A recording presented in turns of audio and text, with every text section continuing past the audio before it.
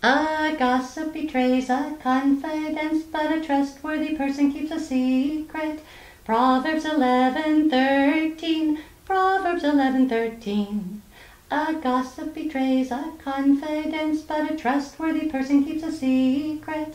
Proverbs 11:13. Proverbs 11:13.